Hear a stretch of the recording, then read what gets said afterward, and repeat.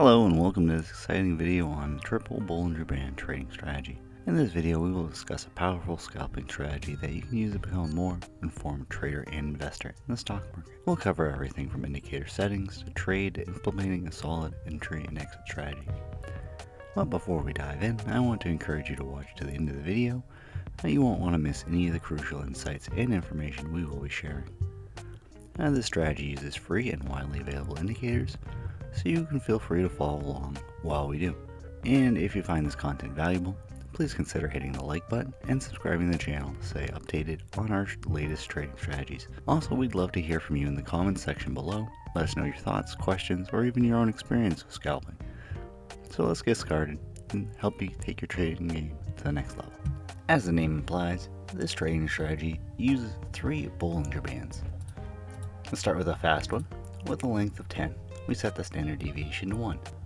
The second one we have a length of 50 and we set the standard deviation to 1. And the third we have a standard we have a length of 100 and we also set the standard deviation to 1.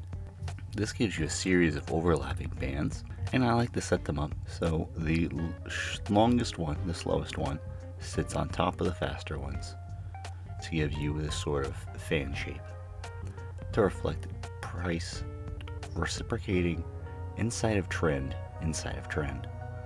So the way that you'd use this, the way that I use this, is I use the longer term trend and the short term trend inside of it to create a sort of jump roping situation. What I like to do is wait until price breaks down below the short longer term band or breaks above the longer term band. And that gives me a trade. So in this instance, we take a short trade here at the close of this bar. I like to put my stops around the length of the longer term, or the other side of the longer term Bollinger Band. And I'm going to let it run for a little while. The idea of this trade is to hold it as long as possible, and I tend to use it to sell premium. But you can use it however you want. In this instance, this one would continue all the way until it broke the band on the other side down here which is a pretty decent trade. That gives you a solid 13.28 risk to reward ratio. However, this is probably a, uh, one of the better ones. Um, most of them do not have that kind of risk to reward ratio, but they can, and that's the point. So let's look what happens when it doesn't work. the trade immediately before it. If you want to take a long, you wait until it crosses the band here. You could probably buy that. Put a stop below and let it run. And it's gonna run, it's gonna run, it's gonna run, and it's gonna stop you out. Which isn't that bad.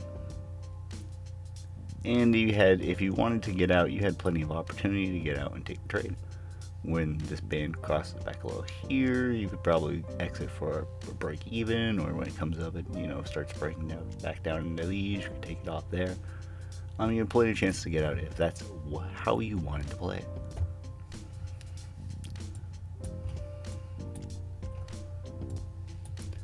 But ultimately, that one didn't work. Let's look at another one that worked. Here, it comes breaks below, you take a short there. Move one there.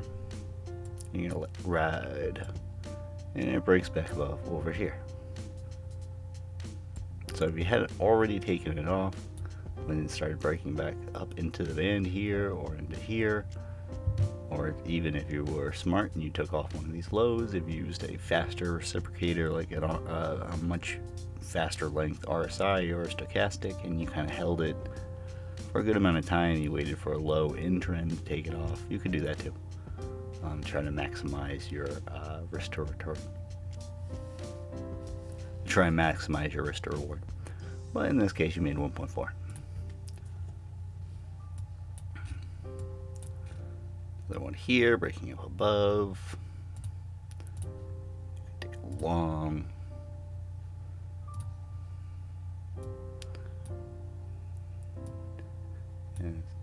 that. Feels like that where you're going to stop out.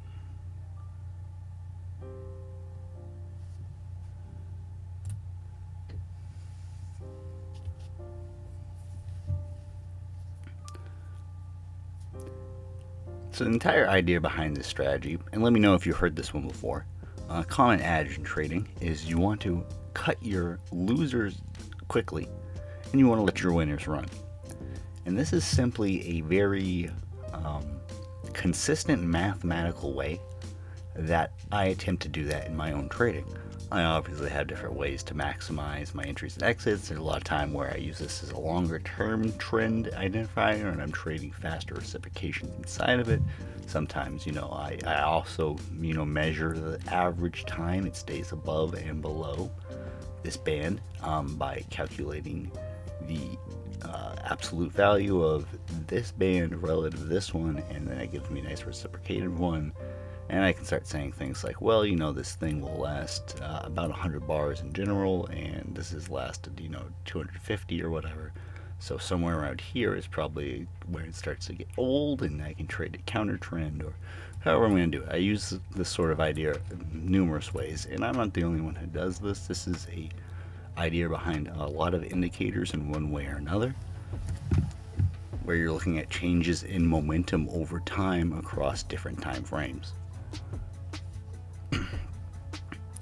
So if this sounds interesting, I suggest you experiment it with experiment.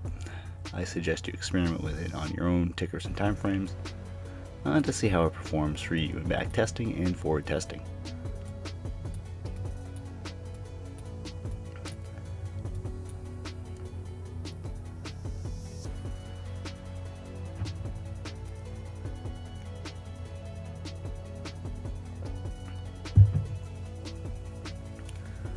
I personally like this for selling um, options because in the way that I do it, a lot of times you're you can it burns a good amount of time even if it's going to stop you out and then stops you out pretty close to where it got you in.